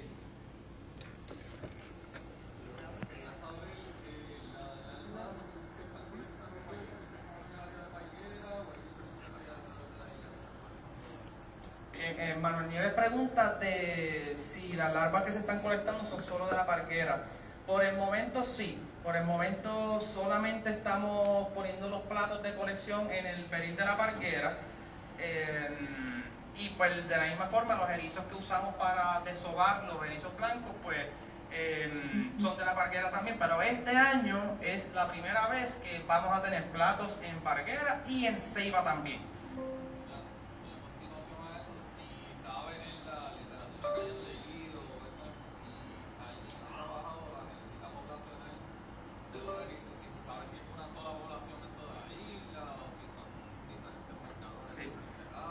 Manuel también pregunta si se han hecho estudios de genética poblacional de erizos y o y la respuesta es sí, sí se ha hecho. Acabé de leer un paper de equinometra, yo creo que a nivel de Caribe, y encontraron que eran como 5 o 6 eh, no sé si llaman los genotipos, no sé si, el concepto, si, el- si el- lo estoy diciendo bien, pero y con diadema entiendo que sí, que también eh, por, por lo menos o se ha hecho algo o se estará haciendo por un estudio reciente por la enfermedad que hubo. Yo sé que se cogieron muchas muestras de diferentes partes de Puerto Rico por lo menos, así que si no se ha hecho, sé que está por verse. Sí. Vi que ustedes como que cultivaban las larvas de los erizos este blanco, pero los de la diadema recolectan en, o sea, en el mar, recolectan las larvas juveniles. No se podría eh, como que crecer las larvas de la diadema en el laboratorio como la del erizo blanco. Sí, eh, ¿tengo tiempo para esta pregunta? o? Ok, está bien. Eh, l- nosotros con el, el, el, el Tributive ventricosus, el erizo blanco, como tiene un ciclo de larva más corto, es como de 25 a 27 días, pues ese nos atrevimos, porque ese es bien trabajoso, tienes que ir todos los días, y Hunter es el experto en eso, no yo, en, en alimentar el alimento y alimentarlos a ellos eh, es mucho trabajo versus que los diademas es por temporada porque ellos desoban principalmente en verano, temporadas calientes. Entonces el problema con el- la limitación con el diadema es que su ciclo de larva es como 50 días, es como el doble del tiempo y son mucho más frágiles. Gente con millones de chavos y pesos lo, lo está intentando hacer y han, logrado muy poco todavía de tan delicados que son. Así que nosotros, pues como tenemos esta, técnica, pues seguimos así. Pero eso es para el, simposio de Maybe 2025, 2026. Voy a estar mostrando eso. Más, más, que venga. Así que muchas gracias a todos y que pasen un hermoso día. Nos estaré viendo. Muchas gracias, Manuel. Bueno, ahora vamos a tener a Hunter Howard. Hunter Howard es un candidato a maestría trabajando bajo la mentoría del Dr. Juan Cruz Mota y la doctora Stacy Williams para ayudar en la restauración de los erizos también. Yes. Do I just talk? Oh, I'm just talking to this. Okay.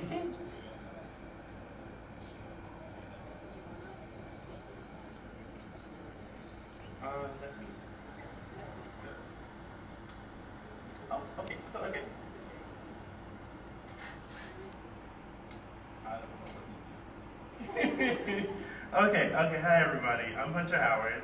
Um, I'm a master's student for University of Puerto Rico Wide West. Um, my advisors are Dr. Cruz Motta, Dr. Whale, and Dr. Stacy Williams. And today I'm talking about uh, my my uh, my uh, my project.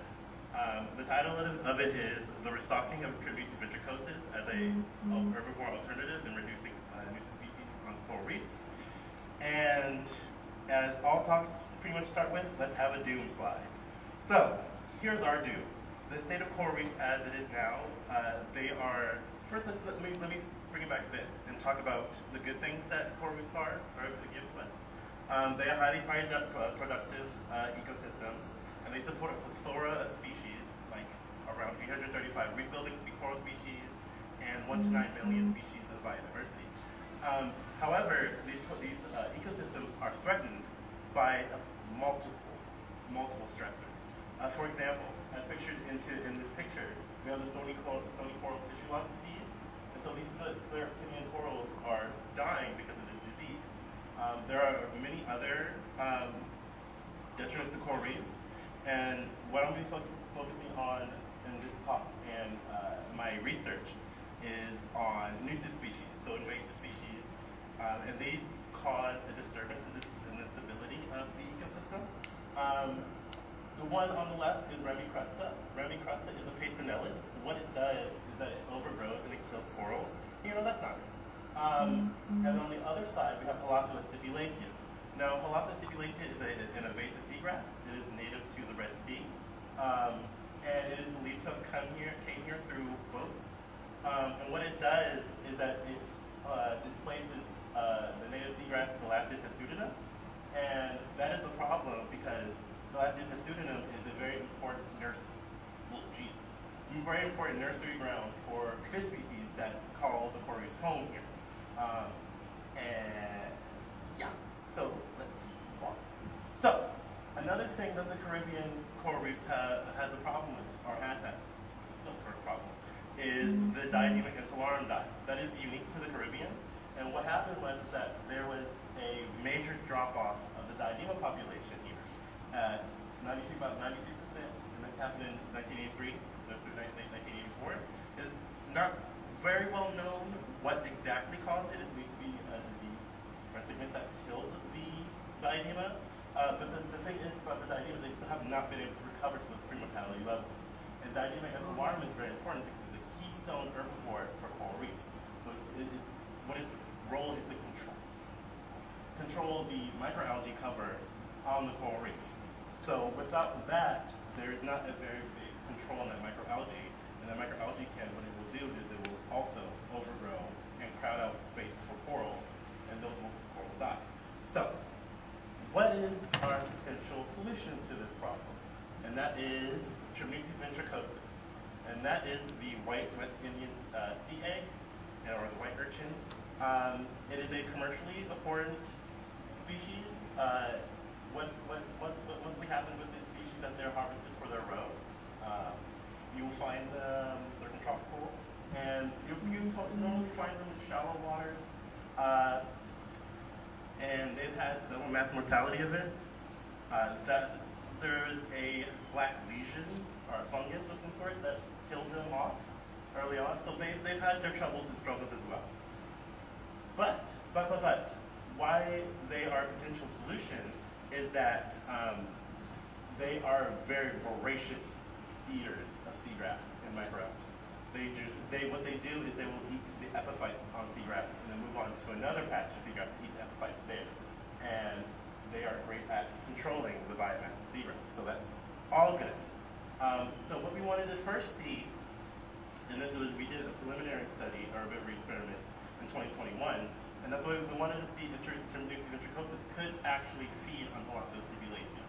And so what we did is we, we set up corrals in East Magueyes, and we put these, these cages, and we wanted to see if the Tripneustes ventricosus could eat the stipulaceum over the course of a month. Uh, you see, uh, they did. they grazed it to the bare substrate, uh, so which is very, very good. So, what, so we do know that they are We also did this experiment with Diadema antillarum and Boqueron, um, and in comparing the two uh, effects of their grazing, the Tripneustes ventricosus, where they graze to the bare substrate. Diadema antillarum, they graze to the bare substrate, but there's still some stragglers left with some that rise up. So, what is my thesis? The, my first set of my thesis is I wanted to conduct closed cage experiments not only in, in route the Limagayas, and I want to assess the ventricosus and Diadema antillarum grazing, uh, their grazing rates over stipulaceum beds over time. Uh, I wanted to do this in more sites. The second set, that second uh, objective for my thesis is I wanted to see what the, the urchins prefer. So I wanted to see if field collected Tripneustes ventricosus and field collected Diadema antillarum had different food preference, or, actually just generally seeing what their food preference was in the first place. Um, and then I wanted to compare that with lab reared uh, Tripneustes ventricosus and lab reared Diadema antillarum. So my hypothesis is, is that both of these species, from preliminary observations from uh, literature, they have both been observed grazing on seagrasses. Uh, and so it is predicted that the urchins will graze the Halophila stipulaceum beds to the bare substrate in the course of a month.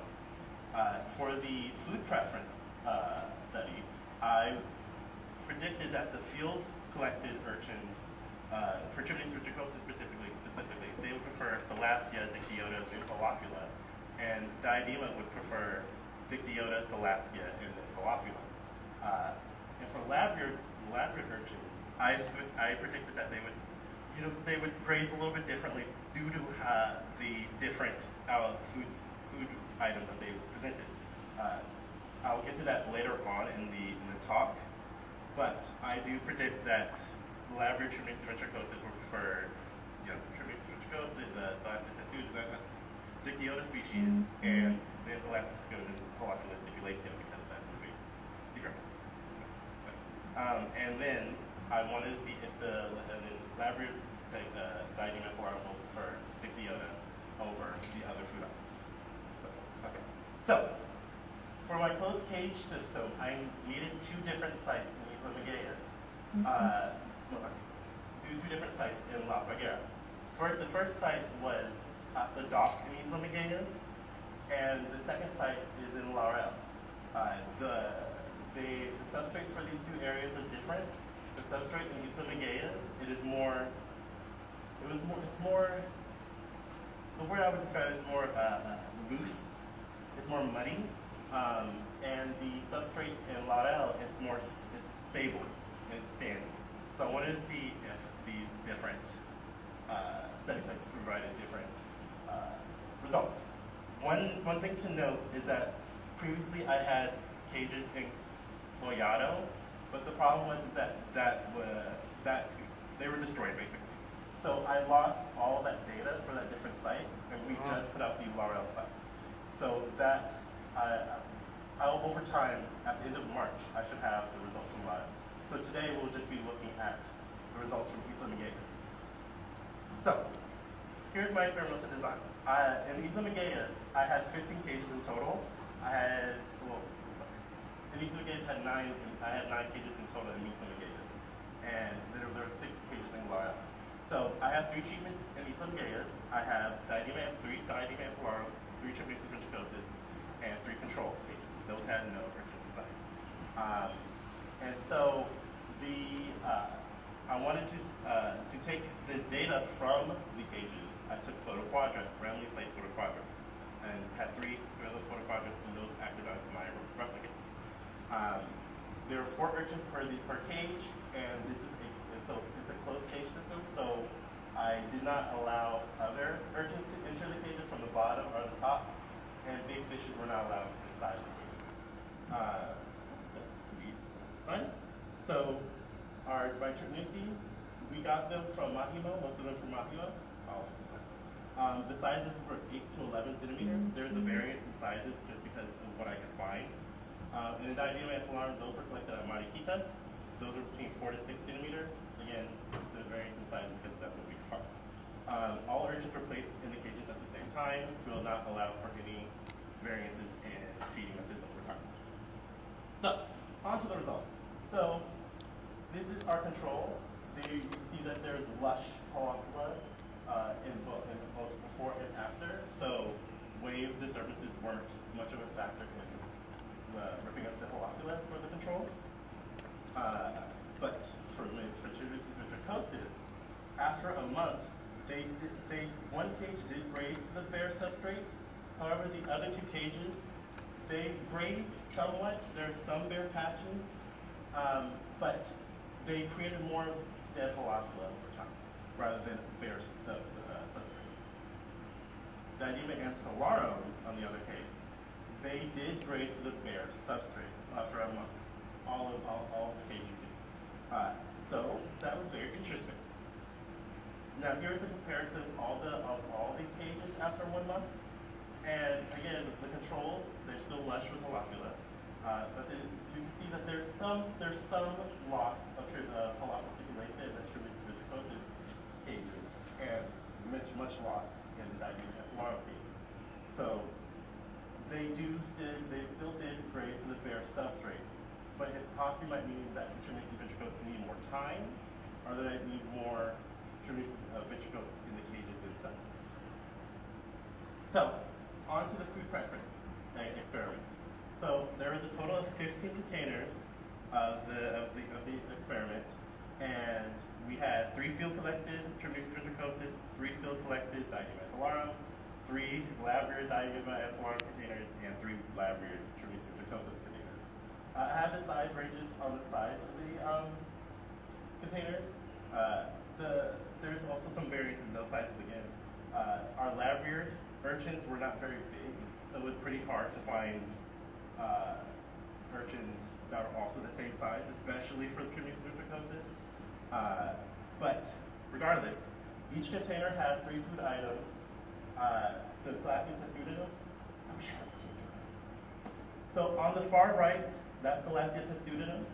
in the center, you have Dictyota, and on the far left, you have Halophila stipulacea. All of those were five grams wet weight, and the urchins were starved for one day in the containers to allow themselves to get used to the containers, uh, to the flow and everything, and for them to be ready to feed on the food items. After that, they were given the three food items equally, and they're allowed to feed for one week. And before I get to the results of that, I want to briefly talk about the food sources of the larvae and the lab-reared urchins. Um, so for Tripneustes ventricosus, I fed them Isochrysis galbana and Cataphosaurus and bacillus, 50% of oat each uh, for since day one to day 26 before day 25, before they were set to become settlers. So no Thalassia in their diet still. I mean, not, yeah, their diet still. So Diadema antillarum, we collect those as settlers, and then we feed both species. So we, we feed both, uh, both these species. We feed them, you see in the background, is that lush green? That is Ulva lactuca. It is found to be a, a nutritionist uh, microalgae for the urchins to feed on. However, it's not necessarily a natural thing for them to feed on. Um, but we, that's what we feed them 99% of the time. Other times, they are fed Dictyota, Acanthophora, other microalgae. However, we never fed them Thalassia if, unless by bycatch. We never fed them Halophila unless by bycatch. So, on to the results. So for field collected Tripneustes ventricosus, these are the only urchins uh, where I have to show them eating uh, the, diet, the microalgae or the food items before day seven, the end of the week, because the field collected Tripneustes ventricosus just decided they want to eat everything. Um, so, what their food preference was from day to day, they, were, they, they went from Thalassia first to Dictyota and then to Halophila, but they're generally eating everything.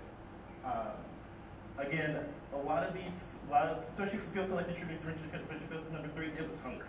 So it ate everything before, on day four. Day four, day four is when it really ate everything.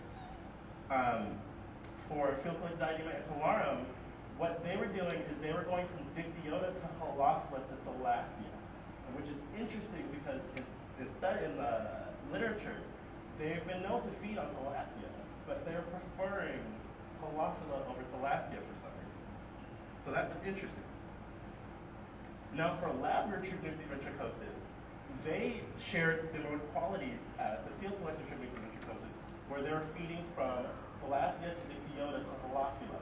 However, they weren't as voracious as eaters. Maybe that's uh, possibly because I didn't allow them enough time to starve, whatnot. But that's what they were doing. They're going from uh, Thalassia to Dictyota to Halophila. Uh, and even then, there's some variances in what they're eating. Uh, and lastly, we have lab-reared Diadema antillarum. Now, lab-reared Diadema antillarum followed closely to what we feel like the Diadema antillarum were doing, where they were feeding from Dictyota to Halophila to Thalassia uh, which was fascinating. Uh, especially lab-reared Diadema antillarum number one, it was preferring the Halophila first. I've noted it eating the Halophila before anything else. And that's really interesting because um, it is an invasive species. Why are they preferring this over things that they, or uh, other things, especially the Diota, which they have eaten before. Uh, and here's the results from the controls. Again, they, the controls didn't change much. Oh, oh, oh, okay, there. Okay. So here's a comparison of all the treatments. Um, and basically, field collected Tripneustes ventricosus and laboratory Tripneustes ventricosus preferred the same food items from, again, uh, Thalassia, Dictyota to Halophila, but didn't necessarily mind eating the Halophila. And field collected di uh, Diadema antillarum and lab-reared Diadema antillarum, those had the same qualities in feeding as well, but they were from Dictyota to Halophila to Thalassia. Um, and so, my preliminary conclusions are that both Diadema antillarum and, both, and ventricosus are able to graze Halophila stipulacea in one month to bare substrate. Uh, and those findings are similar to ones we found before in 2021. Um, field collected Tripneustes ventricosus and lab-reared Tripneustes seemingly prefer Thalassia over all else, but will willingly eat everything.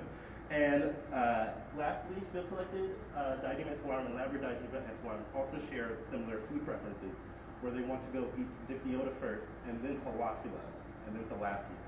or maybe not the last meal at all because they didn't really eat it during the, the study. So that is my that is my preliminary conclusions for now. Uh, I will be going through doing the data analysis over time. This finished off on Wednesday of this uh, this week. So uh, I my goals are to go through all of the data, all the bronze blockhead scores from the food the cage experiments and the wet weights through ANOVA to see what is truly going on in the data. And hopefully with this study, I will improve respiration efforts for Tripneustes ventricosis.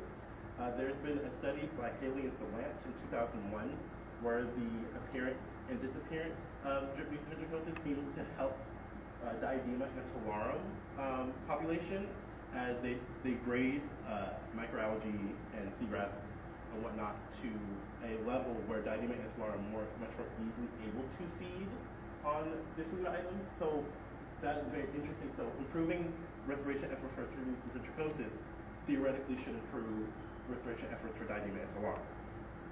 And I want to conduct herbivory experiments using Ramicrusta species um, because that is uh, that is another big problem. And we okay before before this is not a before and after. Just say this is uh, this is after we, uh, for, we forgot to take the before picture.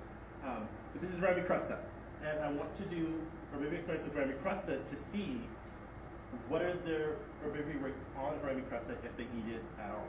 If we show that they have eaten it, but I want to see how long it takes them to clear it. Clear it. So that is what I hope to do in the future with this study. And that is everything. I would like to thank NOAA, ISER, and everybody, uh, Manuel, Noel, everybody. Everyone's been such a great help. Oh my goodness. and that is all. Does anybody have any questions? And that is my baby.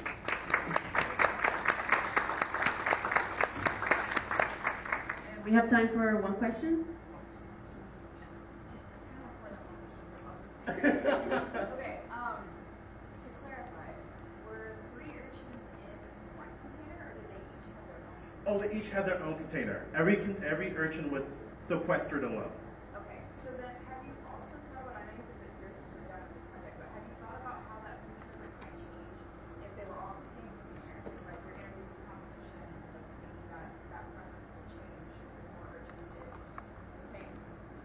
Yeah, that would be an interesting study. Uh, it would, I would probably assume that the Tripneustes ventricosis would probably bully out the di- the diadema for the food, just because of what we've seen in the uh, containers of how uh, not containers, uh, of our husbandry efforts.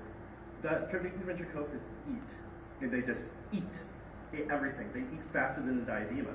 So I, what I, I predict what would happen is that the trimesics would beat out the diadema for for the food. For the food. even if you just put a bunch of trimmings in one container, See, just to see if maybe the food preference by individual changes just because of competition. Yes, maybe possibly that what they would do is they would just see one tribute is already on something and then just go feel it and just go something else. Exactly, which would kind of like replicate more like a natural setting. Yeah, yeah, that would be very interesting. That would be very interesting to, to see and do it like a future study on. Yeah.